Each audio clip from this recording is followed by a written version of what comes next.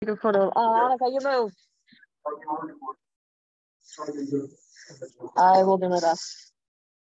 So anyway, this is the these little holes here are the spiracles. Again, caterpillars don't breathe through their mouths. Remember, insects have six. Insects have real legs, six true legs. Now, it looks like they have a lot more legs, right? So there's one, two, three, four, five, six. These are the true legs. Look like one was missing actually. Maybe it's chewed off or something. Oh no. And then these are called pro legs, and these are crochets. They're like little hooks at the bottom of it. So, but these are pro legs. These aren't the real legs.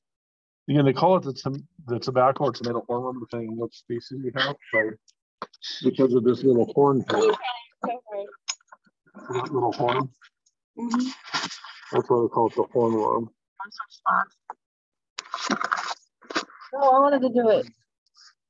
Um, and then of course this is the head, and I could probably do another filming of it afterwards. So I could use your help for that too.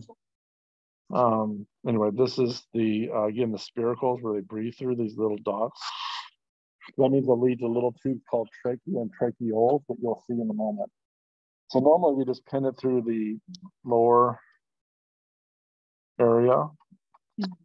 And then um, and then normally I like to pin right above, right below its face. Oh, its neck. Its neck is what we call yeah. Oh, like like snakes, they don't exactly have parts. and then I like to uh, cut a pro leg off, and that'll provide a hole. He's just chilling now. He's just dead. Yeah, but chilling. Get it? Because he's in a cup of ice water? Leg off. Oop, oop, oop. Then you just, now you're not going to dig in deep. You're just going to do a light cut on the cuticle. Just pulling up on the skin. And again, they don't really have skin like we do. They're, yeah. it's, it's made of chitin, so we call that cuticle.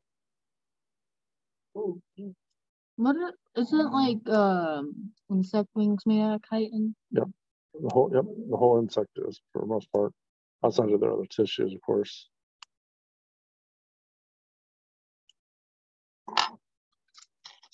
It looks so fun. Yes, Kelsey, you're very responsive now. now we're gonna slowly open it up.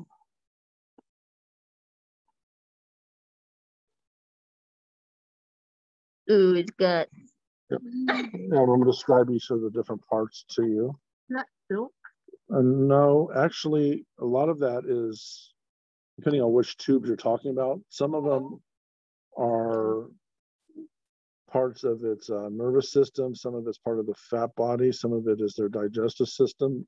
You can see where the food is. That's their digestive system. That would be their gut. Um, these little white tubules here are called Malpighian, Malpighian tubules. They all kind of line up and end up here by the gut. They're like the kidneys of the caterpillar. So their job is to filter the blood of the caterpillar. And then the, a lot of this other white tissue is called fat body. It's like the liver of the caterpillar, detoxification and metabolic, you know, metabolic kind of stuff. Um, you can see their nerves even. I'm gonna see if I can pull that. It's easier to see them under the microscope, of course. I don't know if they have a, anybody have a bright light from their phone. Maybe we can use that. Oh, she's got it. So, oh, oh, is there any forceps in that box over there? Uh, you need me a napkin. Napkin. Napkin.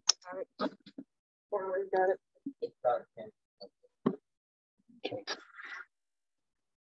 So anyway, I'll just use my pen. So this is the Malpighian tubules. Thank you. This is now these tubes here. You see these tubes right here? They're coming from a spiracle. Those are trachea. Those are the air tubes right here. See how there are a lot of air tubes? Mm -hmm.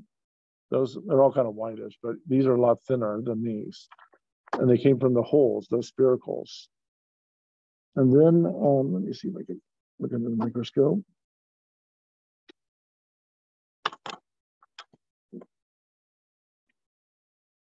Uh, let's see. So those are definitely spiracles. Let's see if I can show you a nerve cord. Anyway, it's really obvious when you look in the microscope. Um, let's see.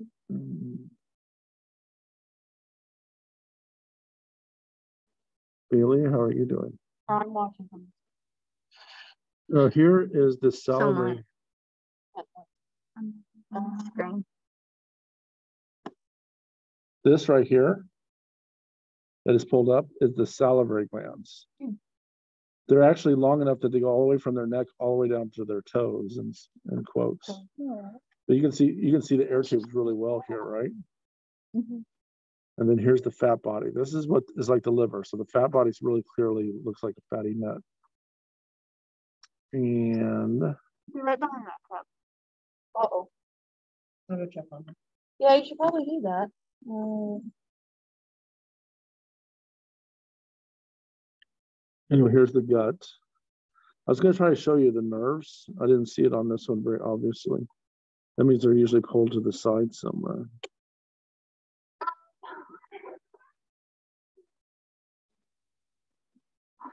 Okay, so let's just test ourselves real quick. What is this, these white tubes here? They're attached to the wall. Trachea, Yeah. are the air tubes? What are these big white tubes here?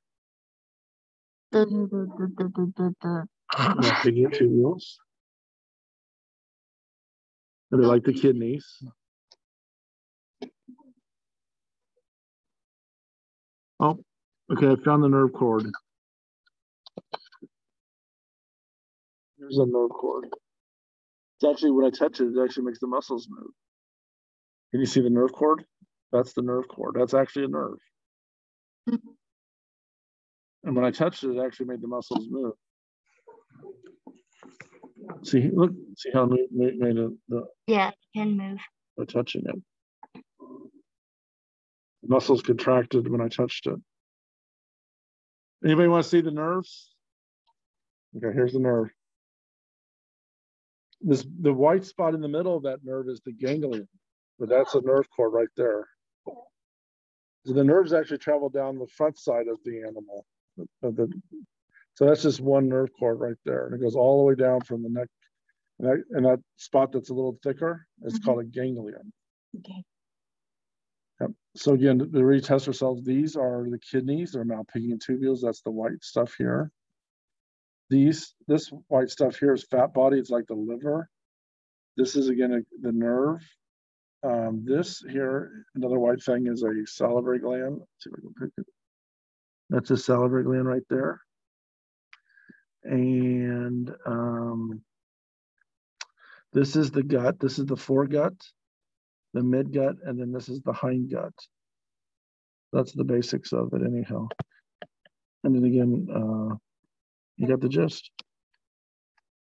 All right, so um, we can pull the gut out. You can do all sorts of things like that.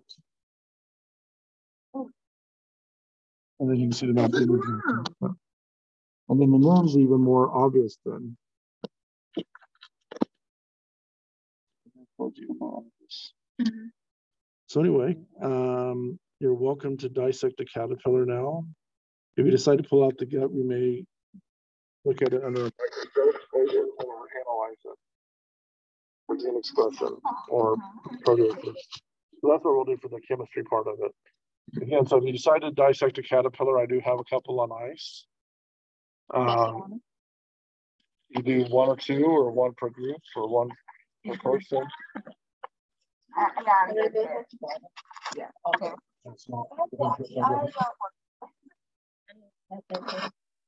So anyway, um, those playing at home, um, just kind of write what you learned and send me a quick email. And um, you have a good rest of the day. Talk to you all later. Bye.